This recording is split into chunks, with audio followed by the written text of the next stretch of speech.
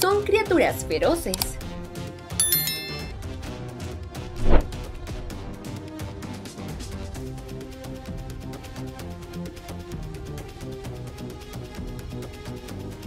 Cuando se siente amenazado, el macho se para derecho y golpea su estómago con ambas manos para advertirle antes de pelear.